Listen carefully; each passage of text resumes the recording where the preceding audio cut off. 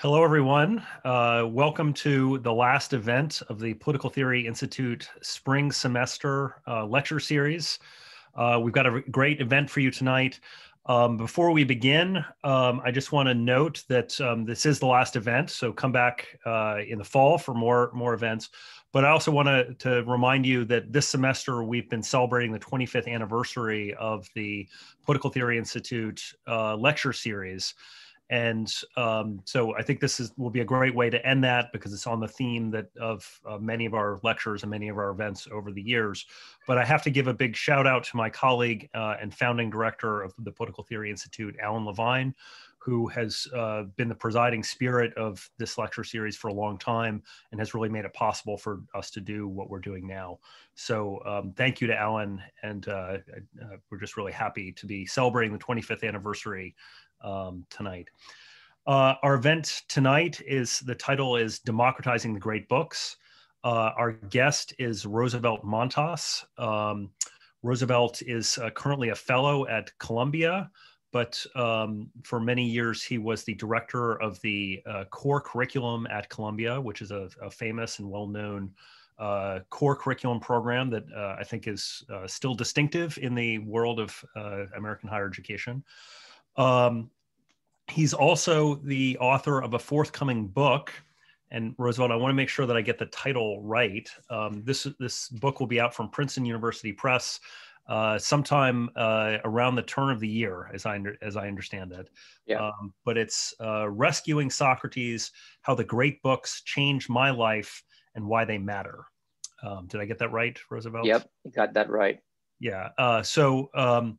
And I should say, uh, you know, so many of us who have admired the Columbia Core Curriculum Program, um, you know, and have admired Roosevelt's work, um, uh, you know, think it's really great what they do there.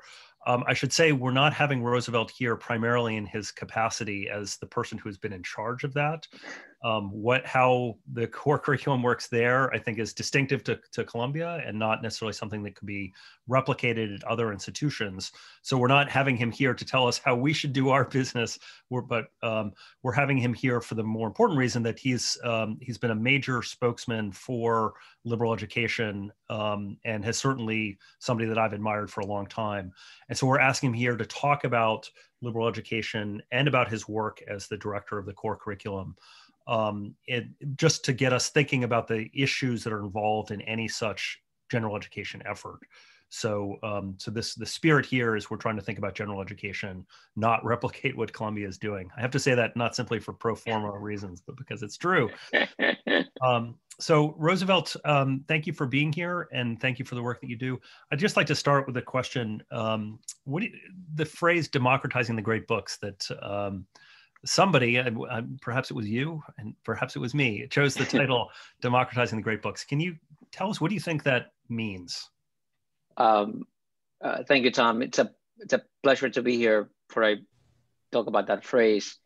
Um, as you will know, we had originally planned this event for last year, and it was uh, derailed by uh, an act of uh, I don't know viral reproduction.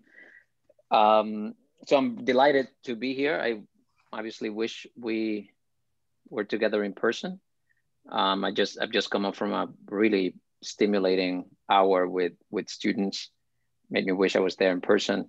Uh, so anyway, I'm, I'm I'm really delighted to be here and to be having this long postponed occasion. Um, democratizing the, the great books, you know, you can obviously read that phrase in a lot of ways. Um, the way in which makes most sense to me or the way I, I you know what where my mind goes when I when I see that phrase and what I thought when I saw the when I saw the phrase as as a, the title for this event is that the great books have historically in one way or another been the exclusive or largely primarily the province of a kind of social educated elite. Um, and that holds true of, of liberal education. And the great books have always played a central role in liberal education, even in places that don't have a formal great books program. um, liberal education, great texts, um, even texts that are not canonical, um, are just superb tools for liberal education. And they have been, um, like liberal education, largely the province of the social of, of a social elite. So in democratizing the, the great books, uh, what I think of is the, the idea, the aspiration, the intention to make great book based liberal education accessible to the broad population, uh, bringing more and more people to encounter, uh, to grapple with, to think about, discuss the great books. Um, in some way, the history of American higher education has been a history of broader, of democratizing liberal education. Um, probably the biggest single step is uh, after the 1945 GI Bill that brought a just an entire population that were not the kind of people who went to college. College was was was um, not for for regular people. Um, but we have taken other steps. You know, the 1965 um, Higher Ed Act and other policies, sometimes spearheaded by some rich private institutions, have tell the story of, of, of broadening, democratizing access to liberal education and to great book space liberal education. I, I should say that that process has gone into reverse. And I, and I, and I think, you know, the last 20 years have not continued to see that expansion, but rather a contraction, uh, a contraction that's driven by, by, by, very large forces and which strikes me as one of the um, real dangers of our moment and, and going forward is that liberal education becomes again um, confined to those who are already privileged and those who are already um, those who already have access to to cultural capital. So democratizing the great books means to me getting this education, making this type of education accessible to more and more people, particularly people that have traditionally been excluded from access to it. Okay, so that makes it sound like there's a good that you want to share with more people. Um, but as you know, um, many people will ask the question about the nature of the good itself, right, or the thing itself. Um, what do you say to people who say that that the the kinds of um, traditions and the kind of programs that that you uh, have been involved in um, are insufficiently diverse or insufficiently inclusive, and that in our changing time, that that uh, what we teach needs to radically change as well. Um, that's that's a that's a big question, right? Um, that, yeah. Uh, yeah. Often, you know, many faculty, right? So students and faculty both will raise. So, what would yeah. you say to that? Yeah. You know, it's a, first I would want to point out that it's a legitimate question for us to ask, an important question for us to ask. Um, it's a question that I faced constantly as director of the Columbia Core and um, as a person of color who is a, you know, not uh, from an elite background. Um, it's a question I face. So it's an important question because we have seen we have seen um, places of exclusivity be open to you know to to, to broader broader people in all spheres of uh, of American life and, and probably goes beyond America, um, financial and political, educational, um, you know, in the arts, etc. And that is salutary, and that is the result of sustained and dedicated labor and activism and struggle. Um, and it, it, there's a kind of certain obvious logic to us bringing that I, that that that impulse and that aspiration for diversity and representation and democratization to something like the canon. Um, but I think that once you get once you dig kind of deeper into the logic, you begin to see problems. Um, so you know the the logic of representation, I think, works and it's appropriate in a kind of in, in a political field. It makes sense for our representative institutions, political institutions, Congress, um, and you know, legislatures of all kinds, to represent the people that elect that elect them, the, the, the to represent along all kinds of identitarian uh, axes to represent people. When you bring that thinking to a curriculum, um, it's really apples and oranges. So a curriculum could be representative of, you know, a given time period. You know, we're going to read representative plays from the, I don't know, 1850s or something, or it could be representative along a genre. Um, but the idea of using our contemporary diversity as the standard by which to select curricula just leads to incoherence and, and kind of tokenism. Um,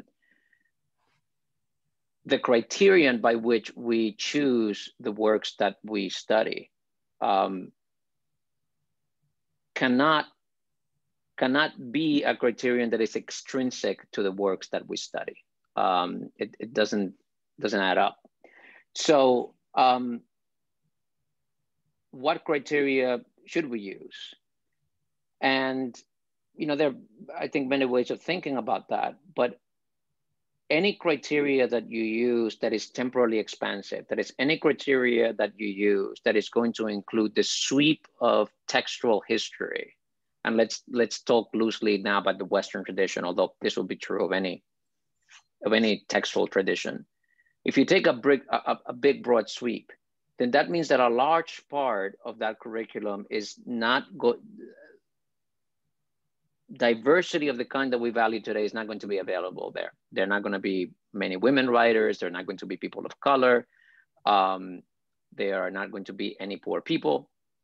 Um, they're not going to be disabled people. They're not going to be, uh, or there are going to be very few kind of marginal presence of gender nonconforming people, et cetera. All kinds of diversity that we value and celebrate today um, are going to be missing for, for a lot of the textual history by virtue of the historical conditions under, under which they were produced. Those people did not have access to the tools of intellectual creation. Now, when you get closer to the present, um, you know, say post World War II, then you do have a tremendous diversity. And I think any curriculum um, that takes into account that that significantly covers the post World War II period, um, unless um, you know, unless it's it's it's uh, deliberately shaped otherwise, it's going to include many of these diverse voices, um, women writers, writers of color, writers that come from marginalized backgrounds, writer, writers that speak about the experience of people that have been traditionally um, exploited and, and oppressed. Um, you're going to have that. So often I shift the conversation about representation to the time frame that we are that, that we're that we're looking at. One one more thing I want to say that I think applies to almost everything we're saying or everything that I that I am saying and will say tonight, I'm thinking here about general education, right? If you are teaching the English major, there's a whole different set of criteria by which to choose. If you are teaching physics, there's a whole different criterion that by which you choose. And if you're teaching African American literature, if you if you're teaching moral philosophy, so I'm talking here about general education. That is the kind of education that we think ought to be the basis of every college education. That is the, that that portion of the student's education that is not dedicated to the major, to specialization, to professionalization, but the portion of the student's education that is meant to address the student as a, as a, as a kind of emerging human free agent in our society. Well, so um, okay, so so I we'll we'll talk, I suspect, later more about the criteria by which you think about the books, which books to teach. But um, so sometimes I've heard you speak and you go, um, you say something uh, a little bit different from what you just said. I mean, not contradictory, but but a little bit different, which is that um, that you think that liberal education, which includes some of these core texts that that you were just talking about, that liberal education is is um, uh, not opposed to diversity amongst the students. In fact, it might be good for diversity amongst the students, that it might be something that students of all kinds of backgrounds can benefit from and, and should benefit from.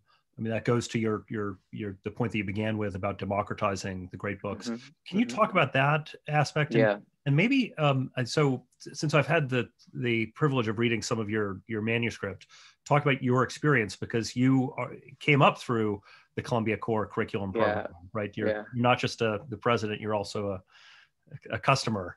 the, yeah, that, right. That's right. Yeah. Um, you know, one, I, I think uh,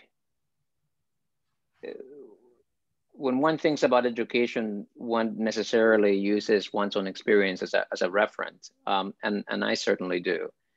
Um, I, uh, I'm an immigrant to the United States from the Dominican Republic. So I came to the US when I was 12, um, not speaking English, not coming from um, a family that went to college or that was um, uh, well resourced in any way. We're poor immigrants. And um, that was in the, into the seventh grade. Then I uh, ended up by almost by accident um, going to Columbia for college. Um, I was I was in New York, and um, just did well enough in school and had learned barely enough English to get an SAT score that kind of sneaked me into Columbia, not knowing what I was getting into. And Columbia, as, as Tom said, has this mammoth core curriculum that sometimes is described as a great books program. We at Columbia don't describe it as a great books program. For one thing, there are courses in music and, and, and art, which are not about books.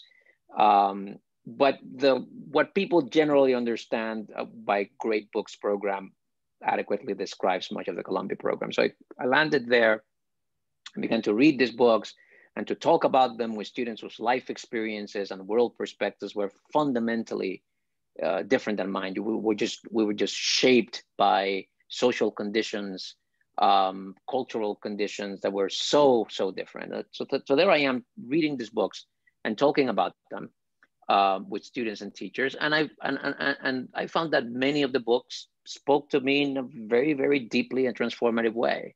Um, they they gave me tools for self exploration, for self knowledge, um, for understanding of the world that were immensely valuable to me. And that had nothing to do with them sharing my particular kind of socioeconomic, historical, ethnic background. It was, it was not, it was not because Homer shared anything, any of that with me that I found Homer uh, illuminating and transformative, or or Shakespeare, or Montaigne, or or Cervantes, for that matter. Um, they, they, they did something else. They, they, they, they illuminated my humanity in terms that were, that were broader than that. Um, and, you know, that I had, you know, people who were like Italian Americans in my class and Dante did not speak to them in a special way because they were Italian American. Um, so that experience was like exhibit A in in the in my thinking or or an important foundational insight in my thinking about the fact that part of what makes a book um, great in the way that that that is useful for liberal education for general liberal education part of what makes a book great in that way is precisely its capacity to transcend the specific historical conditions of its production and speak beyond that. Um, I was telling the class earlier today that the reason why Montaigne speaks powerful to me is not because of his male 16th century Frenchness. Um, it is exactly in the ways in which what in, in which what he says is accessible and illuminates my experience as a Dominican immigrant to the United States. That's what makes Montaigne uh, a powerful, a great work in that context. Um, once you are able to construct a learning situation around text like this, and then you put people in the same room who come from diverse backgrounds. Um, I think you have there the most powerful kind of liberal education that can be had. Um, many of our campuses, you know, we, we, I think in general in higher education care a lot about diversity. And even though we are constantly flagellating ourselves for our failures to live up to what our ideals and, and aspirations are, and we absolutely do fail to live up to them.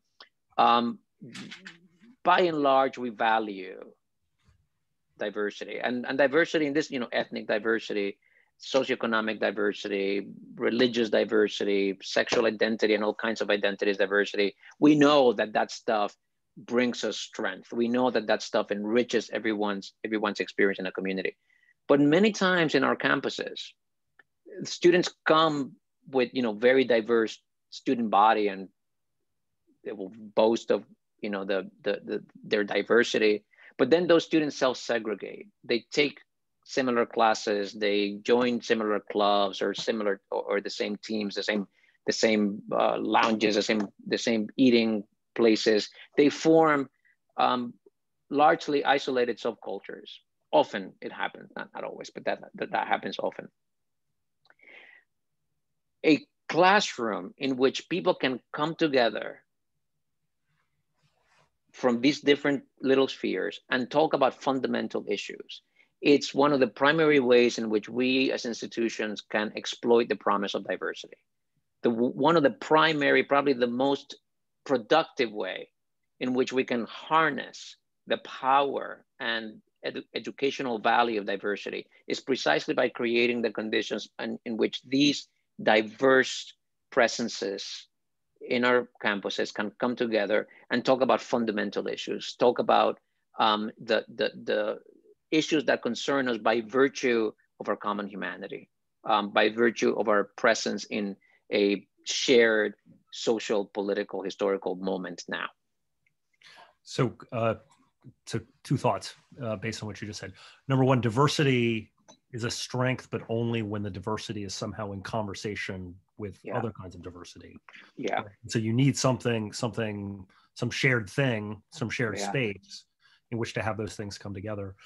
And then the other thing, uh, so and you know, I, I want to talk about the details of the way that the core curriculum program works. But the thing about the the books, I mean, it seems to me that that maybe would you agree with this that a definition of a work that would work, a book that would work well, or a text that would work well in this context, would be something that has a kind of moral complexity in it and that it has layers and that different people will see different things legitimately and that it provides a kind of space in which one would have to work out. So i think of something like homer's iliad which i just taught for the first time.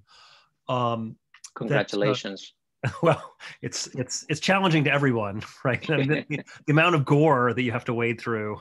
Um but uh, but i mean is, is homer uh, is he pro achilles or anti achilles that, that's not that's not immediately clear. Yeah right? yeah, and and so and yeah. there's good there's good evidence on both sides of that question and and and that and to think about that sort of forces you to work through like why would somebody be in favor of achilles and why would somebody be a critic of achilles yeah. And that, but that that conversation is more about us, right? That that, yes. the tech is a kind of Rorschach test that that yes. we have to. Um, so, but it's that quality of moral complexity that seems to me that so somehow there's some kind of internal yeah. diversity of within the book. Within the book, I absolutely agree with you. Um, one one aspect of this moral complexity that books have is that is or that a book that's great for this purpose of liberal education, common liberal education, is that they're not reducible to ideological messaging. They're not reducible to propaganda. They do not lend themselves to, uh, you know, to, to, to, to conversion to a party, to conversion to an ideology, because they have that, that complexity. They, they are kind of balanced in the great questions. Um, they stimulate thinking, they stimulate conversation. They do not, um, they do not give you answers. They give you deep questions or they deepen the questions that you have. Um, it's one it's one of the qualities, and, and you know you can, and many many people have attempted to kind of draw the 10 you know 10 criteria by which you're going to judge these books and you know one might be moral complexity and the other one might be like um, uh, accessibility to an undergraduate. Another one might be like aesthetic quality or another one might be just the influence this text has had on a tradition. Another one might be like how old is this book? Uh, another one might be does this book bring up issues that nobody else brings up and that are really important? So whatever you can have you can have a list of criteria. And, and I, I know programs that have such a list and give scores to the books and then they add up the scores and okay this is a 25 book and we're going to include everything over 20 this this year. The metrics of the great books world. Exactly. So you know you can certainly do that and and uh, just just don't believe your categories too much or don't believe that your categories uh, encompass everything that there is. Um, Wittgenstein in, in the philosophical investigations has introduces this concept that's just so useful of a, a family resemblance, uh, where you know you see like people in a family and they kind of resemble each other, but it's not like you can't reduce it to a formula, um, but they are related by a by a, a kind of set of characteristics that overlap in some uncodifiable way uh, cannot it, and and I think the way we think about a great book is kind of like that. There are there are this there's this there's a family resemblance. There's you know you've got these um, qualities or measurements or or ways in which the book is significant that kind of come together and make them an excellent tool to do what to do what we're doing and and that's not eternal that's not eternally the case you know there there are books you know i don't know you can you can you can go through the canon and think about you know john donne whatever every, every educated person read a lot of john donne or there was no educated person had not read paradise lost you know milton or something and and then you know then those books sometimes fall out of currency in some way and then whatever in 50 years there's a huge milton revival now everybody's reading milton so there is a kind of historical sensitivity to it. There are there are works that, depending on the context, depending on the on the historical conditions, will gain saliency. And, and again, it's very hard to say to reduce them or to nail them. I was I was one of the questions that came up in the class is the idea of a list of books, you know, of a canon, and there isn't there isn't a list. It's a or it's a very porous list. It's a it's a it's a it's a um, it's a, it's a, it's a, it isn't an essence that makes a great book a great book. I mean, th- there's a danger for for people who do the kind of work that I think we both do, that you do that the the the list becomes a, a signal or of a certain social status, right? right. That that's the right. perpetual danger that uh, somehow this like this project would get taken over by a kind of oligarchy right or at least right. it would be an oligarchy and maybe to, to, to so let me ask you this so based on what you've just said about about the books and, and about the fact that the list changes right that that uh, i think yeah. what you're what you're really looking for is a book that will uh, be able to speak to the students that you have right mm-hmm. so that there's an important question that it's not just here are these you know statues that are on the wall, but it's about the conversation that could that does happen or could happen with the students. Right. Um, but that uh, I guess what you're really trying to do is is encourage maybe by showing by example a kind of ethos um, that that reading the books could help people to practice, but it's not. You know, there used to be like the Harvard five set, you know, five foot shelf right. of like the great books right. and show that you're a smart person because you read all of them but that's that's kind of the contrary to what you're saying yes um, it, it, mm-hmm. it is the contrary to what we're to, to what i'm saying and as much as there isn't there isn't an ultimate list there isn't i mean if you you can publish you know you, you can publish a series of um, that will be really useful really valuable um, and contain a lot of books that that are like that um, but one, you know, it's not something that you can fix. It's not something that you can nail down. Another another kind of wrinkle of this is that I'm I'm completely convinced that you can teach a, a, a good liberal arts course or do a good liberal arts education just using contemporary sources, just reading contemporary sources. Um, sure, there will be something that you gain if you look at ancient texts that you're not going to, that you're going to be missing, um, but you can do it. Um, so that's, you know, when you were, when you started speaking about, this is not about trying to import the Columbia model, I, I have said before that if I if I could implement the Columbia model everywhere, I wouldn't. Um, I probably wouldn't implement it anywhere um, besides Columbia. Um, but every institution, I think, will draw on its own values, its own traditions, its own resources, its own configuration. You know, like a, if an, an, an HBCU, for example, in their core curriculum, um, would probably have a, a concentration, you know, concentration of the African American voices. That's not going to be the same at Columbia or or some other school that doesn't have those roots, doesn't have those values, doesn't have that mission, doesn't have that in its DNA. Um, so there is a a contextual variability, I think, even to the choice of old of old books. Um, and kind of a further wrinkle on that is that while you can, I think, do a decent liberal education just reading contemporary sources, the thing that you are missing is not a small thing. Um, that, that, that there is a very profound and unique value into understanding the ways in which the categories through which we understand the contemporary world have evolved the fact that the categories that we use, the conventions that we use, the normative understandings that frame our thinking have a history, have evolved, are not uh, are not freestanding. Understanding that, and that applies to our institutions, our laws, our morals, our um, uh, conventions of every type. Understanding that, I think, adds a an element to liberal education that is really, really powerful and really, really important. So even though I say you can you can do a liberal education without that it's not something insignificant that you're missing if you don't spend time with the old the old folks. Right. Um, so well so uh, before we go on uh, too much further i should just uh, remind the audience that uh, we will be moving to a, a question and answer period uh, probably in about 15 minutes. So if you have questions i see some questions already popping up but we're using the q&a feature uh, and so I encourage you to ask questions and we'll try to get to as many as we can. Um, so uh, with that in mind, uh, I wonder if you could, so one thing I'm interested about the core, the core curriculum at Columbia, uh, so there's the content question, which we've just been talking about. There's a lot more that could be said about that.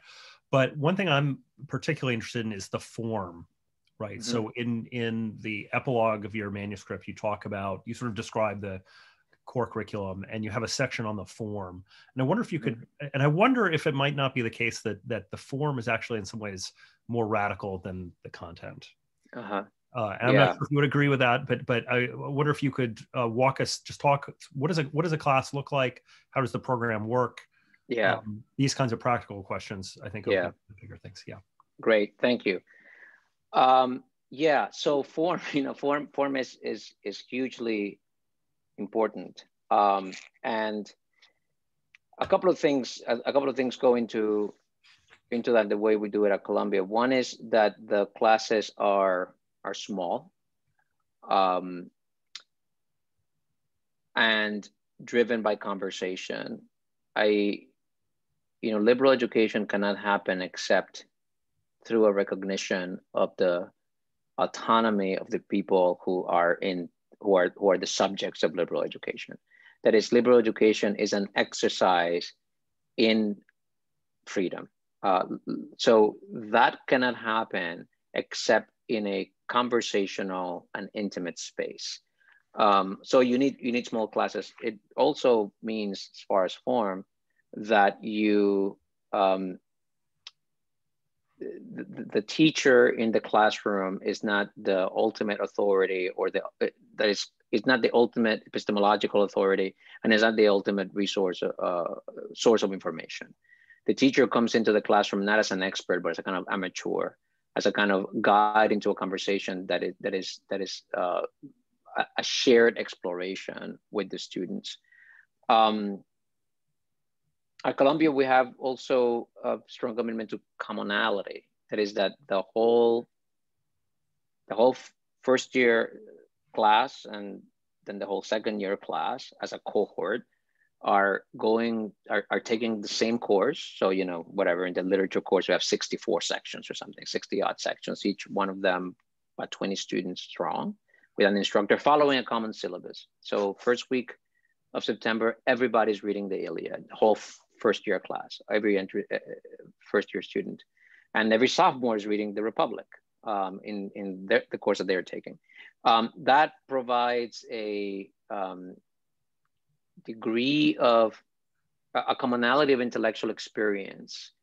Um, a, you know, it, it, connects the senior with the first year student and whoever your crazy roommate is that you have as a first year student, uh, they're going to be taking literature humanities too. And, and, and you're going to have something to talk about and something to share about.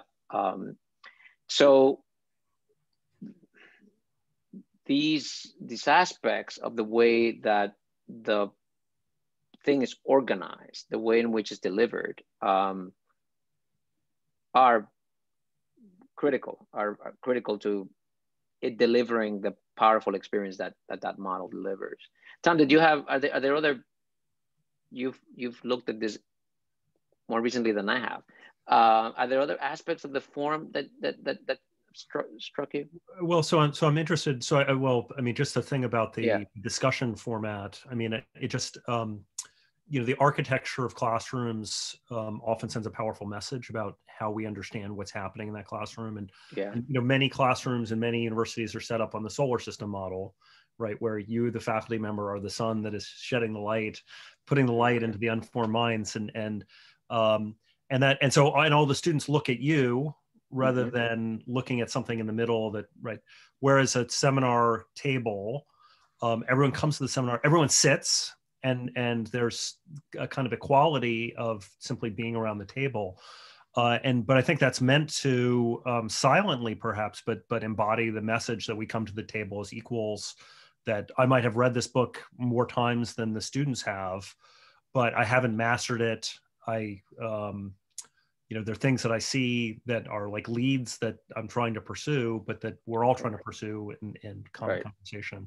so right. that part you know it's, yeah important. and and you know it's one of the ways in which general education or liberal education is different than disciplinary education um, you know even if you are in a liberal arts discipline when you teach when you're teaching your majors you're teaching them a, a specialized body of knowledge on which you are an expert um, when you walk into a liberal arts classroom, you don't walk in there as an expert. And, you know, like you are teaching Homer's Iliad. Um, and so do I teach Homer's Iliad. And, you know, and, and I'm not teaching it from a position of expertise.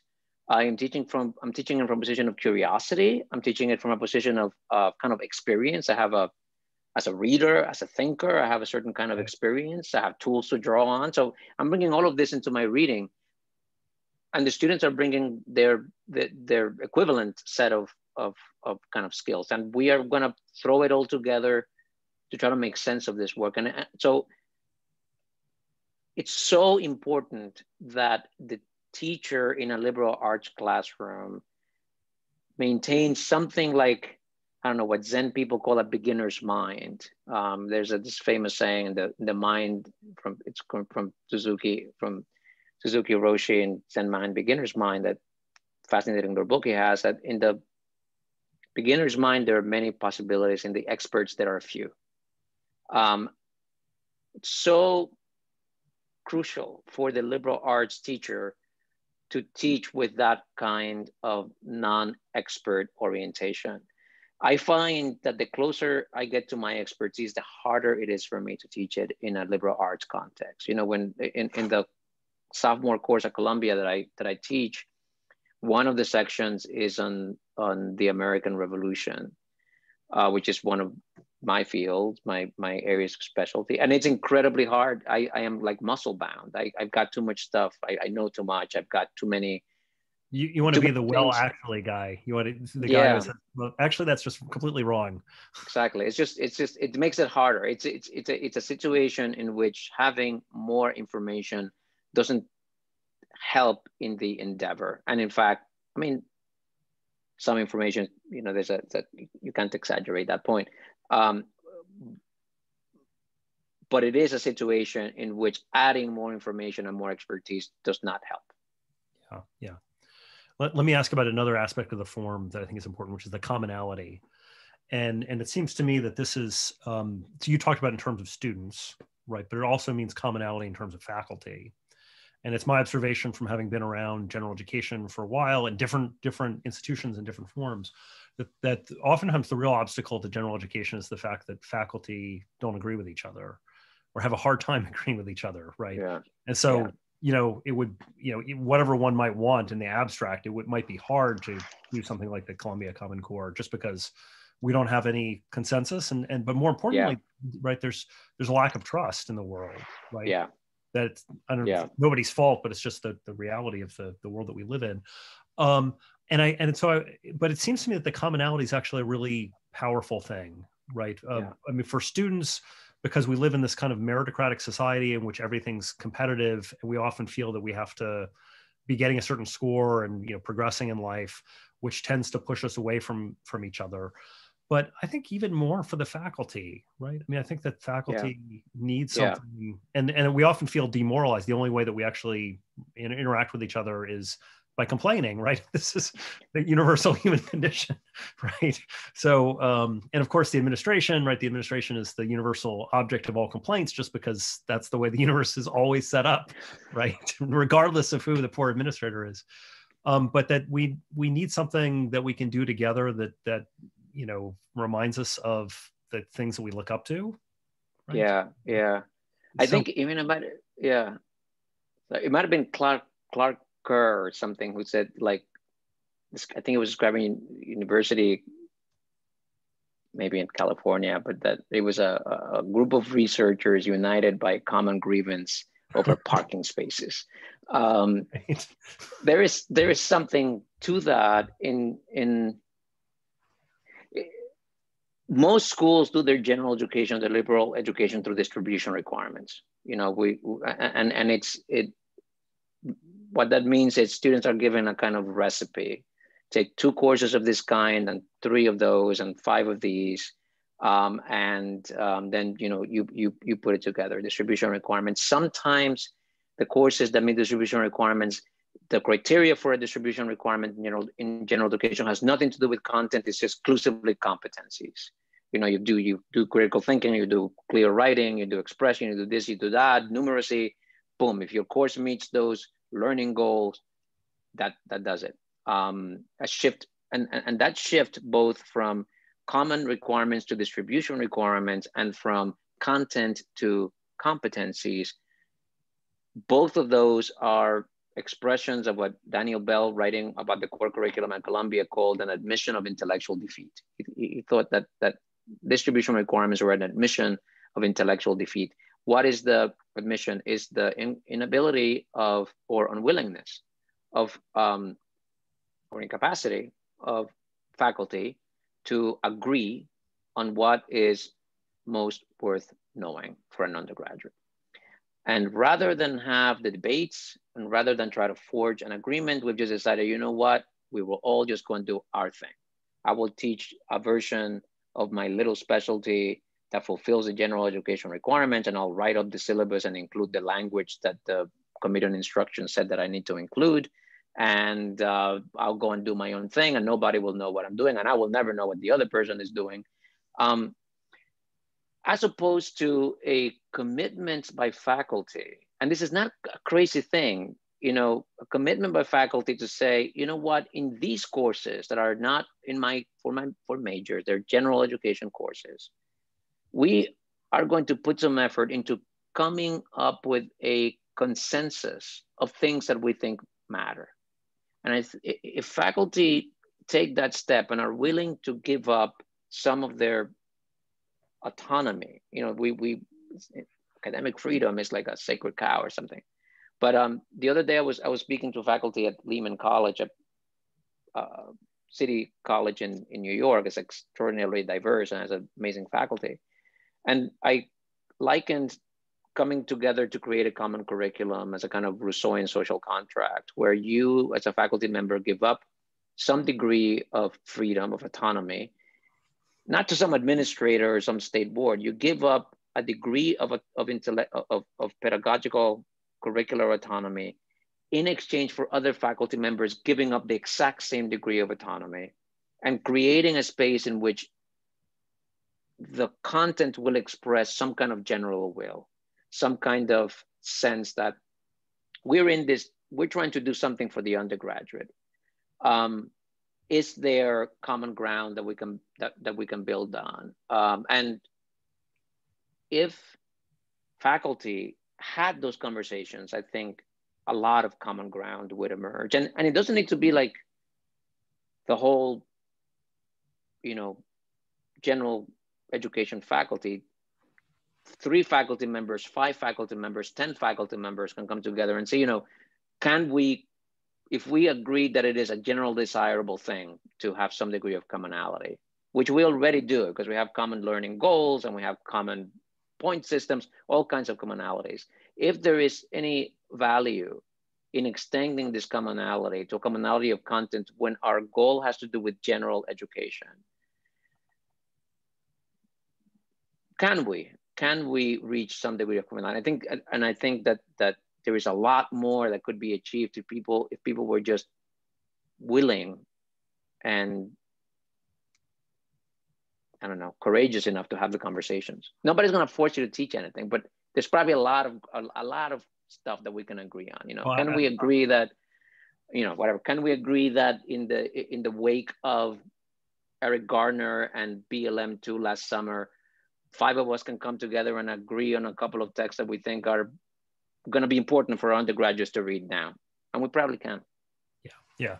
Uh, well, I, I, was going to say, Roosevelt, I'm not sure. It sounds to me like at uh, Columbia that it's more of a. I mean, it sounds like you have a sort of equivalent of an established religion, right? Which, which is in a way is great, right? It's like a. Uh, but I guess my ambition would be to more have like little dissenting sects, right? That works. uh, but uh, and so we, we are going to go to questions here in just a second. Um, so I, I, think Gabe is going to start giving us questions. But uh, but I want to so just a point on the commonality thing. I mean, you see this. It's so this is not an individual problem, right? This is not that individual right. faculty and there are differences over what text that should be taught, and that that's actually really healthy conversation to have. Yeah. yeah. Um. So you know the whole idea that you would simply teach everyone would teach the same thing that would be picked by some you know english professor from 1950 like that's really a disaster.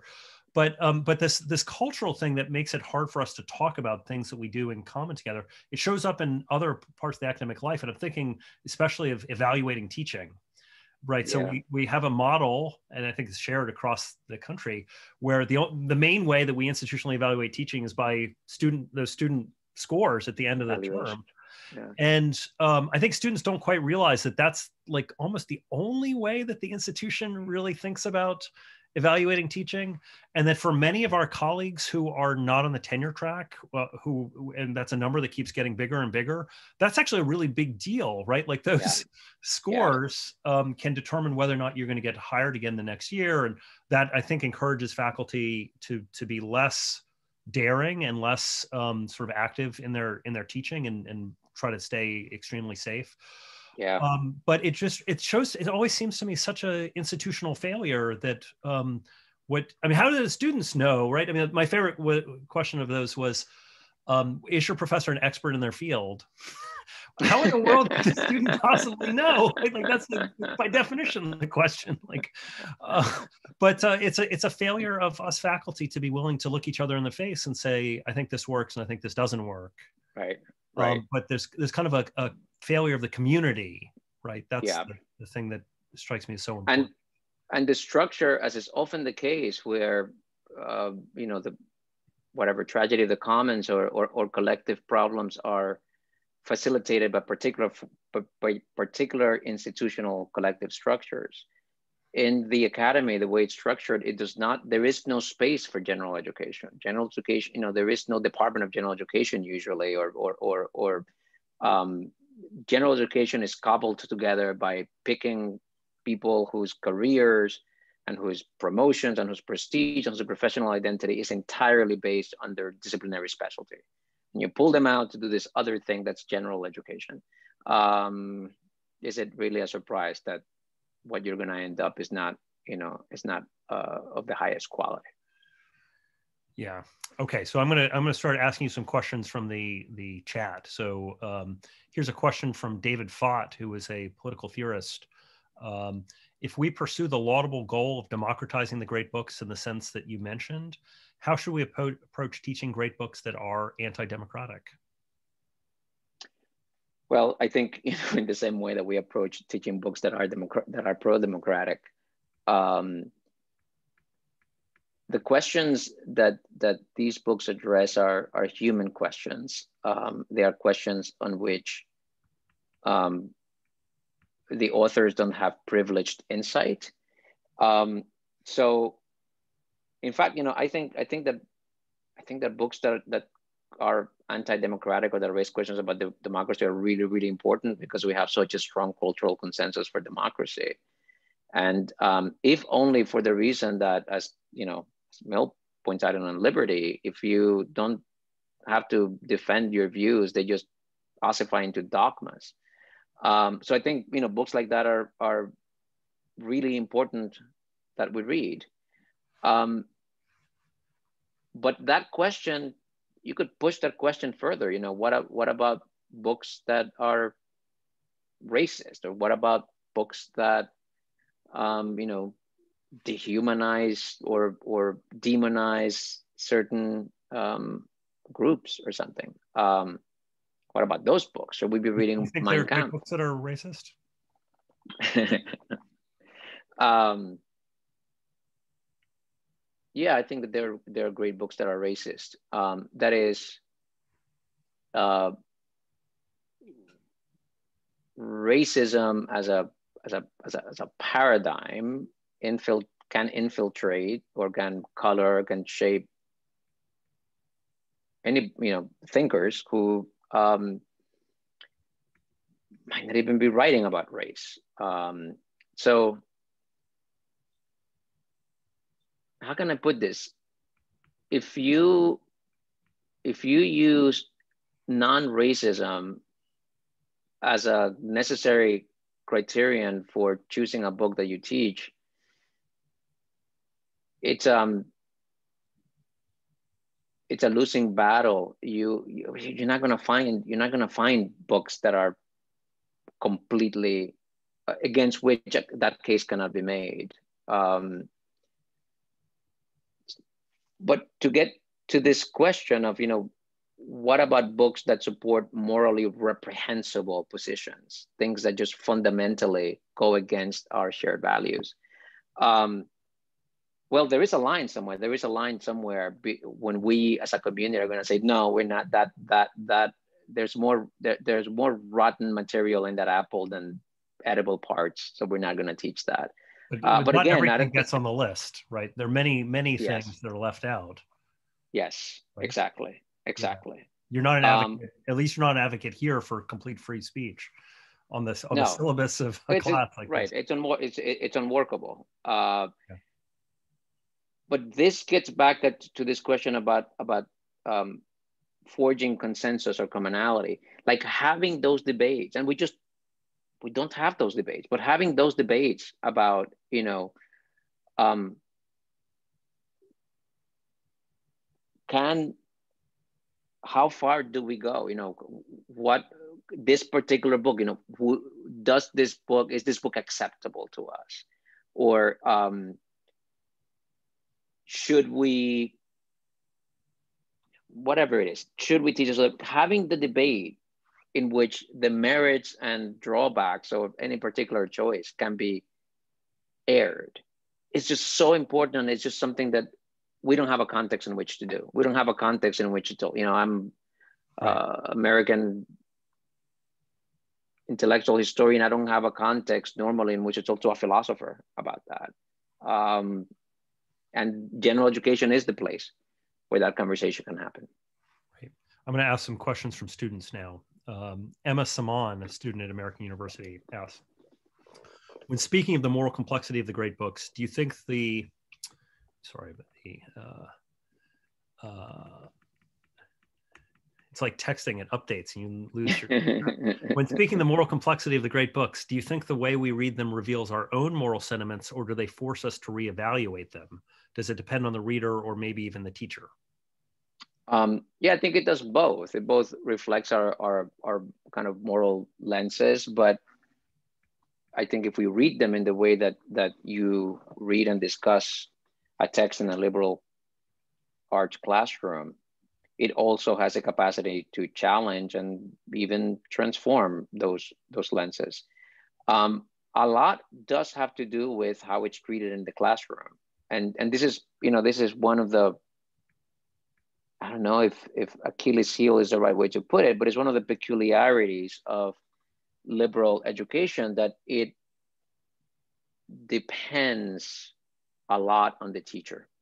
Um, it is for good and for ill a kind of personality driven enterprise. You are there and you are by as teacher by your approach, by your demeanor, by your openness, by your exercise, by your enthusiasm, um, by your own process of in front of your students and with your students grappling with fundamental questions that don't have easy answers. Um, that that does the education. That is a critical part of the education. So um, you can read, well, you know, in, in, in the case of Columbia, I was saying, if you take one of the two big, big courses that have 60 plus sections each, and are reading the same books, people have radically different experiences of those classes. They're reading the same books um, with the same size class, 20 students or whatever. Um, yet people can have just really fundamentally different experience. Some people come out transformed. Some people come out feeling that they have wasted their time. Um, some people come out feeling that they have been, you know, bruised or sometimes even traumatized by some of the stuff that they encountered. Um, so, same books. Um, this, this, this points to, you know, pedagogy is absolutely central in this endeavor. And of course, we know that that's not something you get trained in. You don't go to graduate school. You don't get you don't you don't get taught how to teach. Uh, you're in some of some of the best programs. You're even taught not to teach. Um, so, what a teacher is able to do in the classroom with the books, with the discussion is absolutely critical to the education.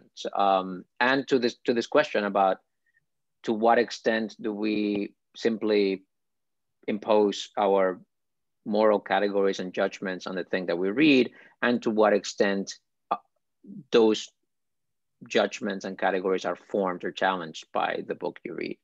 The teacher has a lot to do with what how much of that happens in the classroom. Right. Okay, another question from a student. This is Joshua Suchek, who's um, one of our Lincoln Scholar students. So um, shout out to Josh. Josh asks, uh, isn't the role of the university, at least in its education branch, to serve the student? And if so, isn't a curriculum built on student choice better? It allows for self-selection of courses that fill and extend their interest. Furthermore, isn't it illiberal to force students into any core curriculum? Um, we can try to argue that students could choose to go someplace else, but universities serve other forces and have a monopoly on our future. Consequently, even if a forced curriculum is epistemologically better, doesn't it fail as someone getting something out of a course is idiosyncratic and probably optimized by giving them more choice? So why not more choice? Great. Yeah, great. There's so many good questions uh, and assumptions embedded there. Um, let me say a word about part of the beginning of the question about aren't universities there for for teaching students and stuff? that that that's a big the answer to that is not clear at all. Um, i mean i wish universities um, colleges maybe you know the idea of college is to shape and and equip an individual and kind of cultivate and nourish the development of an individual. Universities you know what we usually mean is a research university. And the mandate there is about the generation and dissemination of knowledge, uh, which is a different thing. The discipline, the knowledge, the, the, the, the research enterprise is uh, dominates and it dominates the Deal Research University. And there's a tension between that and, and the teaching mission. And in most universities, the bigger and more prominent they are, the more the, the, the equation is stacked against teaching. Um, so that, that's one thing to say that, but, but back to the question of students, of, of student choice. Um, one can, you know, one, one can debate that, but I, I think that part of the responsibility of a faculty member, part of what the job of a faculty member is, is to present the student with some deliberate and well-informed account of what is most worth knowing. Um, and that's something that you do when you take a class with a professor, um, even a class that you choose because the subject matters to you or the, it interests you or for whatever reason, you make the choice. But when you go and you stand there the professor makes the choice of what texts, um, what questions, what assignments, what structure is going to best deliver the thing that they that they're trying to do in the course. So you walk in there having made your choice, and then you made the the choice implies subjecting yourself to the expert judgment of someone else um, that is inevitable. So the logic of choice, if you push it to its logical extension, it's just going to get you no professors where you just you go into the class and you decide what you're going to read and what assignments you're going to do and the internet. It's all, it's all choice exactly. Um, but I think it's a fundamental responsibility of the faculty to present the student with an organized, deliberate, informed vision of what is most important to know in a given area. In general education, that's the task. You come and you sub subject yourself to the expertise, thoughtful, deliberate, critical, provisional um, uh, view of what is most important for you to be exposed in in general education. That is a decision that the student is not does not have the context the expertise the um, background the knowledge to make in an informed way um, in fact and and to refer to the columbia program um, what the columbia program does it has this core curriculum that everybody takes beyond that then you do make choices, right? You can choose your major, you can choose what courses you take in other areas, you can choose your professors, etc. And in fact, what the core curriculum does, it equips you to make more informed choices. So, you know, when you get a sense of what are the, the leading questions, the most important questions and debates that have shaped, say, our political institutions today, or what are the idioms in and and um, methods um, in the history of you know painting that um, get us to where we are today.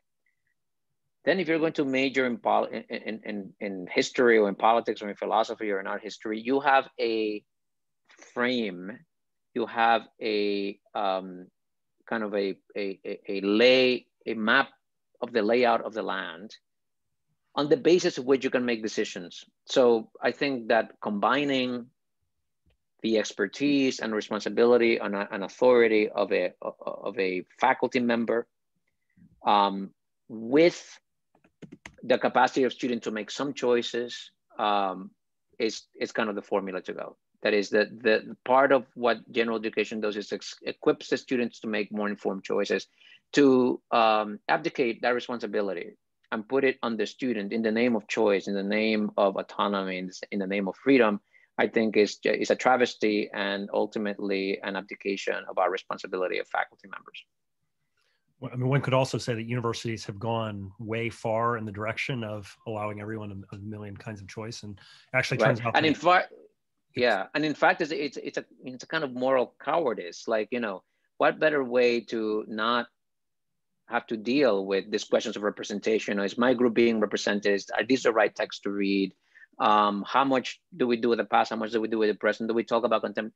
What better way to eliminate those questions, critiques, and debates than by just having no requirements at all. You you just you choose. You do whatever you want. Nobody, and then uh, you don't have to stand behind anything. You don't have to you don't have to defend or even work out a coherent vision of what education consists of. Yeah, and sort of giving into the like the larger kind of consumerist model of the economy in general. Yeah. Right. Yeah. And it also is less satisfying, I think, that students, my, my sense is that students go through college and they get to the end, they say, I can't think of a class that I really hated, but I also can't think of a class that I really liked. And right. it's all like popcorn. Right. I can't even remember, quite remember what I was doing. Right. Yeah. So, yeah. And, you know, there's some interesting work, uh, kind of survey type work that, that shows, you know, that the, the paradox of choice is strongly operates in, in, in, in uh, undergraduate um, curricular decisions. That is that having more choices, you always want more choices, but having more choices doesn't mean you end up happier with what you choose. In fact, there is a paradoxical relationship that often having more choices, which you want, leads to a less satisfactory decision, uh, less, less satisfactory outcome.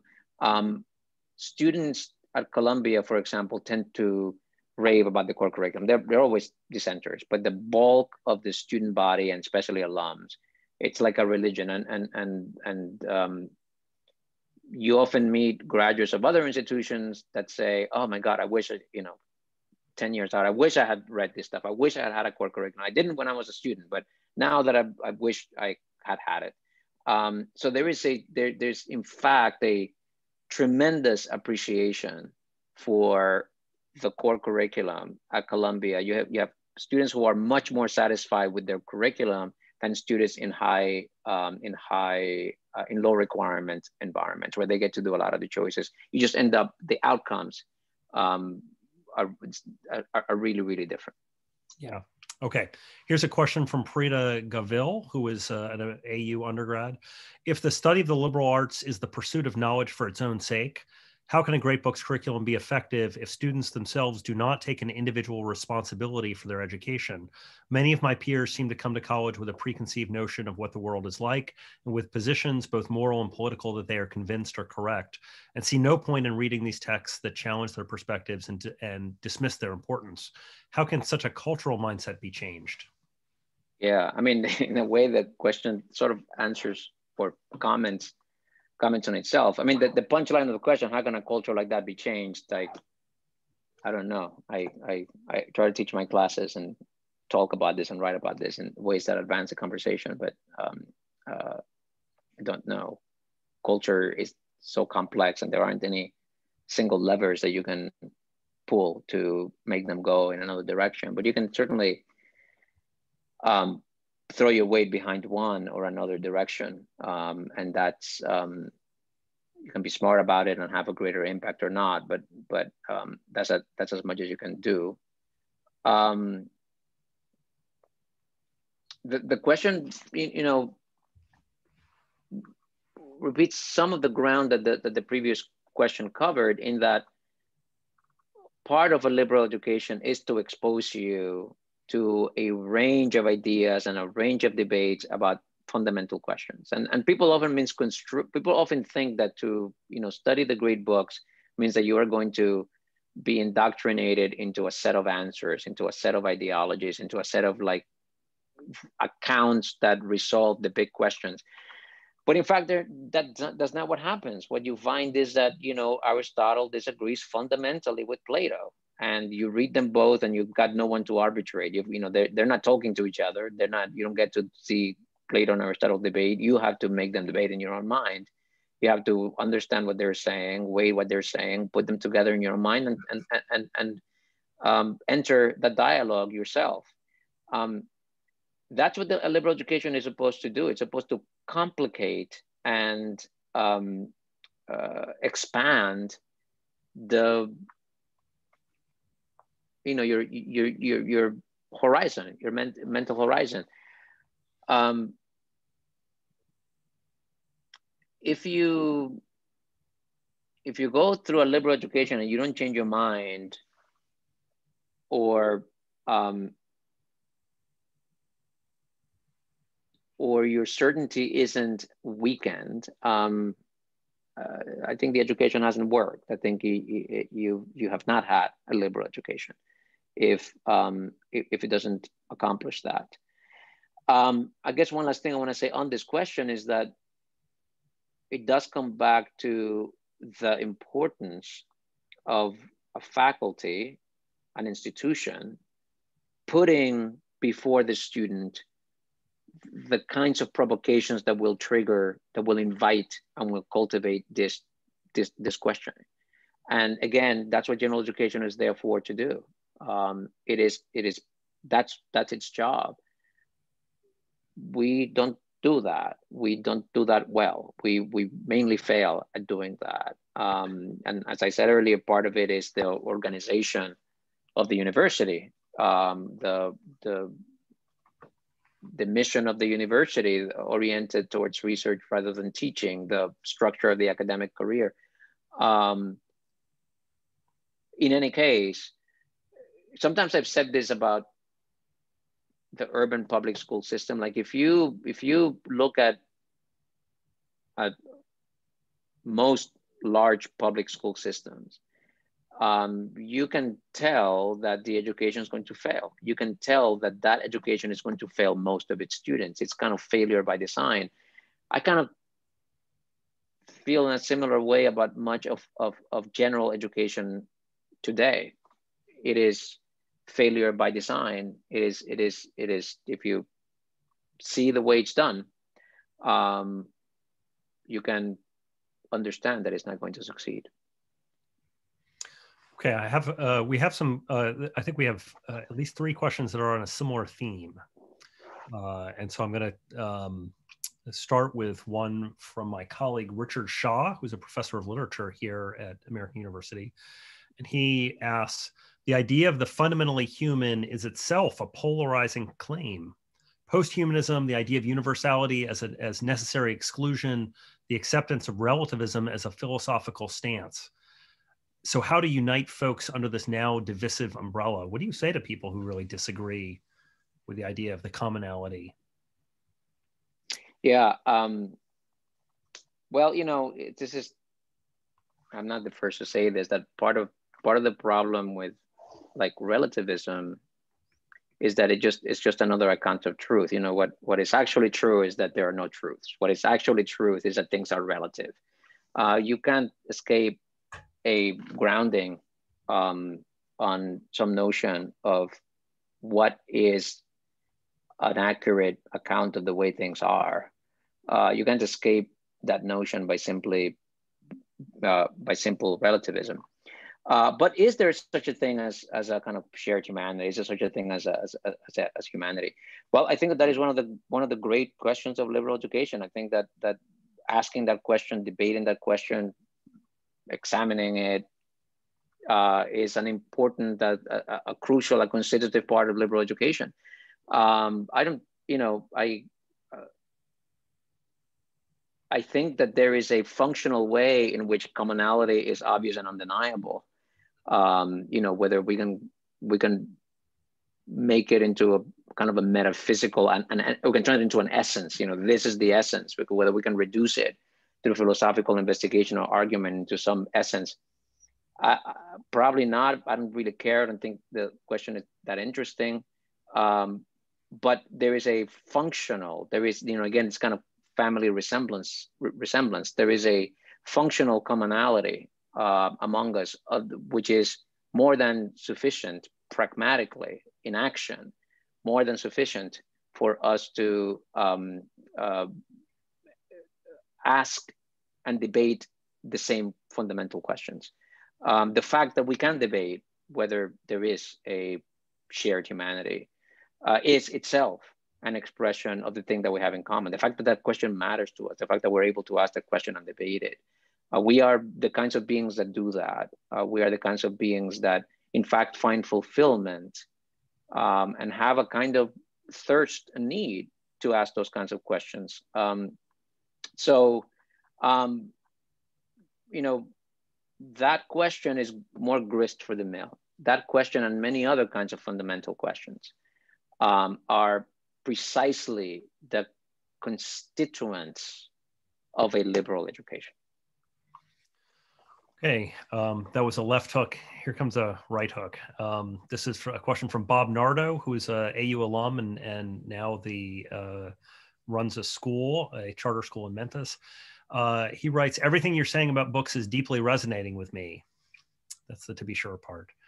But if our defense of liberal education is predicated on freedom and the open endedness of text, how can we resist postmodernism radicalizing those claims?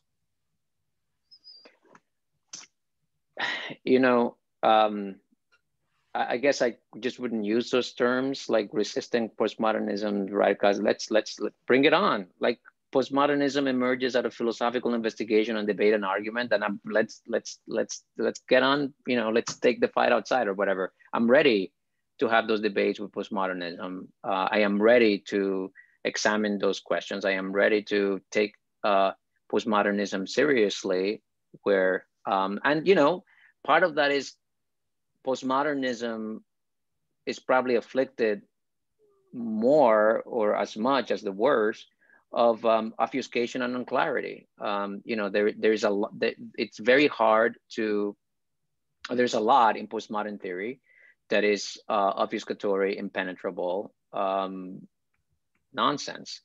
Um, so, you know, whatever, I am happy to, I'm, I'm happy to take it seriously where it can be articulated in a, in a way that can be um, understood and grasped and, and, and let's, let's have the debate. You know, one, one doesn't need to stamp it out or or or or um, you know ban it or something. Uh, no, let's bring it in. Let's have the debates. And of course, the the uh, one of the ironies is that the the great postmodern theorists are such deep, penetrating, profound readers of the great books.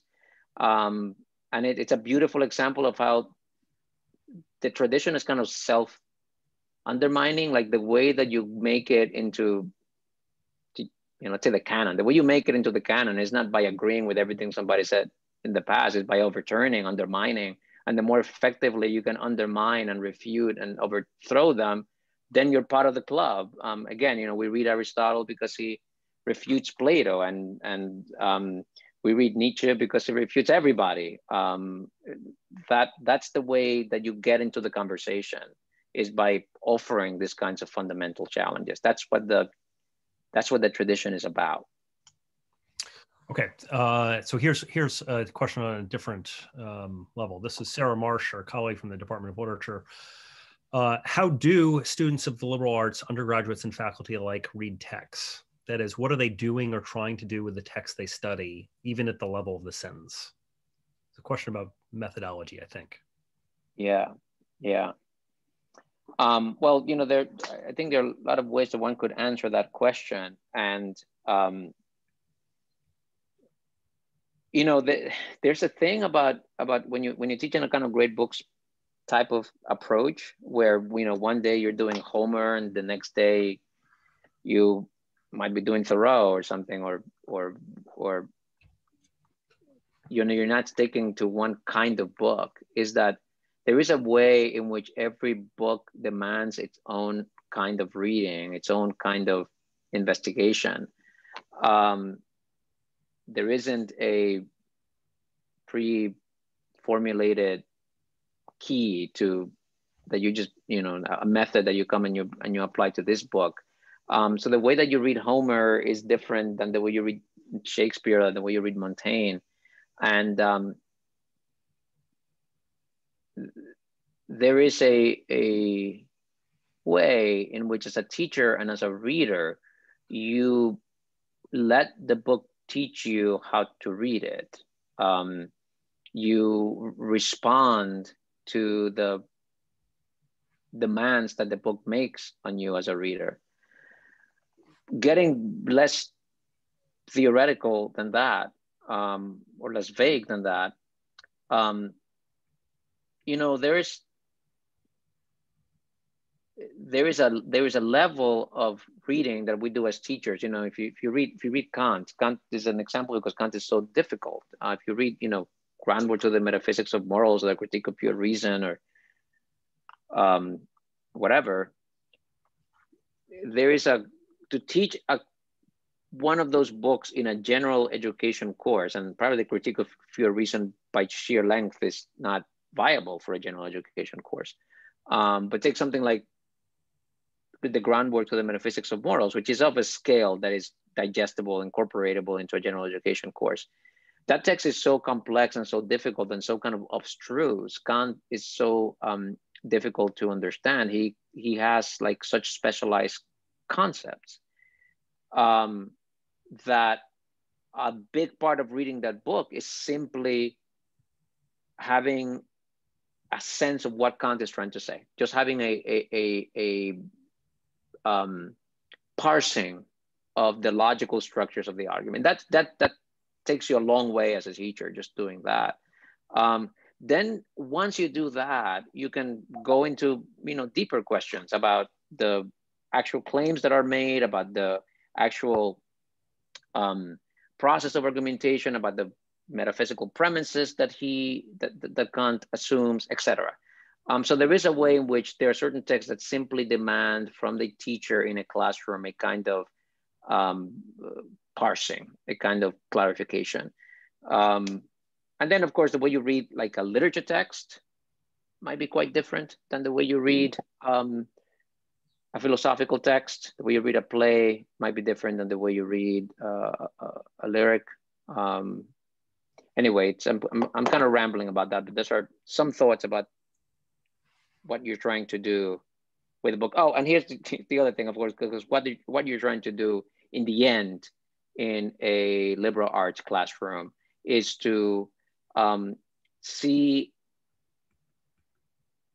how this book addresses fundamental questions that come with the territory of your own experience of humanity, right? It's, it's trying to get at the ways in which this book, in some ways, enriches, complicates, stimulates our thinking about our very specific condition of being a human being here today. Okay, so we have a couple of questions about um, uh, uh, about accessibility, uh, and maybe I'll read one. This is Grace Weinberg, who writes If the Common Core liberal arts education of which you speak highly is only available at more selective and expensive institutions like the Ivy Leagues and even American University, to what extent is this limited accessibility counterproductive to the ultimate goal of democratizing or diversifying narratives and upholding a common goal? Yeah, I think it's absolutely uh, debilitating to the possibility of of democracy. And I should say that this kind of education is not um, the way that that where you can find this kind of education does not track along the line of prestige and wealth in the academy. Um, some of the very prestigious schools and very wealthy schools do not have good liberal education, and some small schools um, sometimes even obscure schools have very good liberal education. So it doesn't precisely track along the, the ladder of, um, of academic prestige. Um, but the general point about the fact that um, to the extent that this kind of education is not accessible to uh, the broad population, it undermines the possibilities for democracy. Um, it, it, a democracy depends. I mean, almost kind of, it's kind of like tautological to say it, but a democracy depends on the capacity of the people to self-govern, the capacity of the of the members of the democracy to uh, exercise self self-governance, to manage their freedom. Well, to you know, governance is a complicated thing. You know, laws and policy and war and the economy and and and and collective action there are things that require engagement and cultivation, that require critical tools, that require perspective, that require information, that require deliberateness, that require the capacity to dialogue, to listen to others' opinions, to weigh evidence, to discriminate uh, between, between um, competing alternatives and competing accounts. All of these skills, all of these um, human capacities are cultivated and polished in liberal education classrooms. They're not the only way that you get them. Far from it. You know, they're they're clear. You can you get those, and most people get them to some extent somewhere else. But that is the point of general education. to equip every student with those with those capacities and those capacities are absolutely necessary to the functioning of a democracy i think that part of our political crisis at the moment uh, which is not a new crisis i think that's been building and we are we you know we're in a bad bad place and part of it is that our the population the american population um, is under under liberal edu educated. I think that that the information revolution, for example, has provided us with a discursive challenge, a degree of discursive complexity that uh, we have not, as a population, been able to uh, digest, I've been able to metabolize, I've been able to adapt to. Um, so we are at the moment, as a society, really having a hard time with telling like tr truth from fiction, from weighing evidence, from uh, determining what is what is credible information, uh, what is con conspiratorial nonsense. Like just we we we do not have the discursive sophistication to uh, meet the the discursive challenges that our information environment presents to us, and it, that is a failure of liberal education. Okay, uh, so I have to say we're not going to get to all the questions, and so for if you asked a question and we didn't get to it, uh, I apologize. Uh, it wasn't because your question was bad; it's just because we're running out of time. Um, I have a question um, from my colleague Alan Levine, who asks: Many Europeans are contemptuous of the United States' cultural achievements, and the West is generally contemptuous of the rest of the world's cultural achievements, except perhaps for a handful of really old texts, such as the Bhagavad Gita or Confucius. Can you speak about some great books that speak to people across space and time that were produced by one, Americans, and two, uh, traditions from writers in Africa or Latin America? Um, yeah, great. Thank you. Um, one of the uh, issues with America, you know, was I now I can remember if this conversation was in, in this in this discussion or in the in the previous one, but um, yeah, I think it was in the previous one. But um, one of the tests for a book's capacity to address fundamental questions to many, many different kinds of people is whether it can do that over a long period of time um, to different and changing historical circumstances. So the older a book is, the easier it is to to to demonstrate or to see or to or to establish the fact that that it can do this. Um, the, the, the, the more recent the book is, the less evidence we have that it will be, a, you know, the less certain we can be that it will last, that it will prove to be the kind of book that illuminates um, questions that matter to people, many different kinds of people long, over a long period of time. So there is a thing about America that America is so young that you know you're not we're not going to have and can't have a Homer or, or a Shakespeare. Um, but you know, we can have a Melville and we can have a Whitman, or we can have an Emerson, we can have a Thoreau, we can have a Frederick Douglass. Um, you know, thinking more contemporary, you can have a um, a Toni Morrison or a Ralph Ellison um, or a James Baldwin. I think all of these are, are writers, artists, and I, you know, I was just, and I'm thinking of African Americans in particular, which is a, a, a, literature that I know well. Um, but all of those are, are texts and, and um,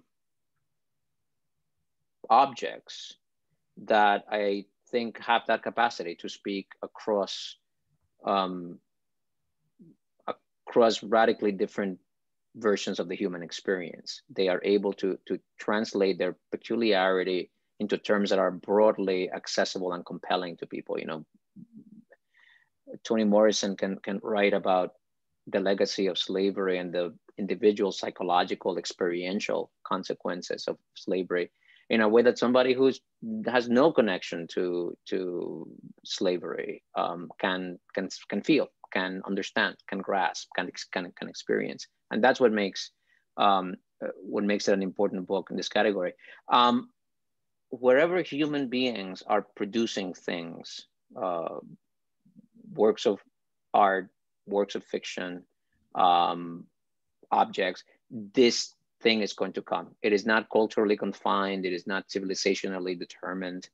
Um, uh, I, you know, I know a little bit of of of um, kind of Indian and, and Eastern, other, other Asian texts to know that there is a huge wealth over there. Um, you know, you mentioned in the question, uh, the Gita and, and um, I forget what other, but, but um, whether it's Mencius or, or Lao Tzu or, or you know, Basho in, in, in, in Japan, um, there's an extraordinary wealth of material um, of this of this sort. Um, there is an, an advantage in, say, in a in a in a, in a society in a in a society that has been strongly shaped by the Western tradition, such as ours. There is a tremendous advantage to understanding that lineage. Um,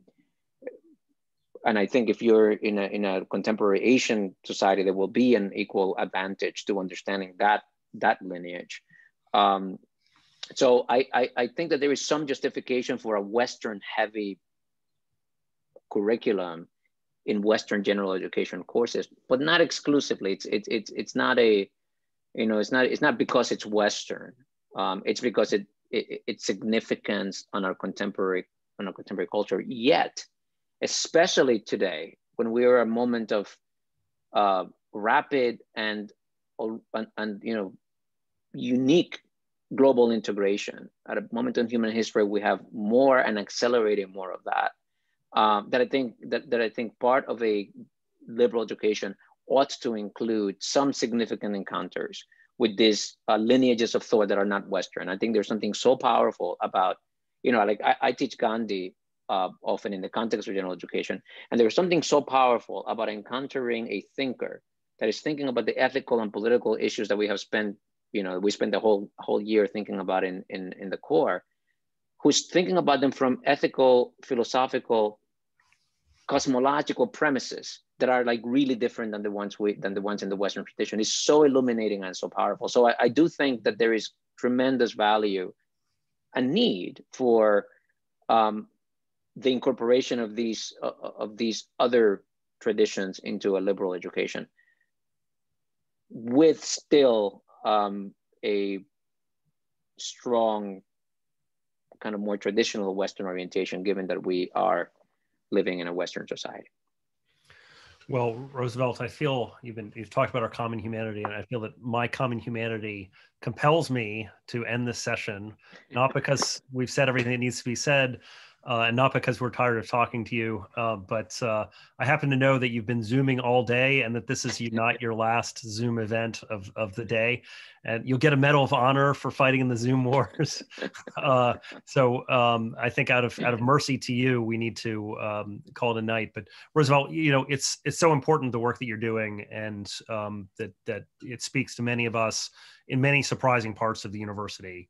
And so uh, I just hope that you know that we're we're really grateful for for number one for your being here, but also just for your uh, ability to to be a spokesman for the the tradition that you're speaking for. So thank you, Thomas. A great pleasure to be here and to meet some of your students and to get some of these really really good questions that I've gotten. Good. Thank you so much. Okay. We'll we'll see you next time. Okay. Okay. Bye bye. Bye everybody.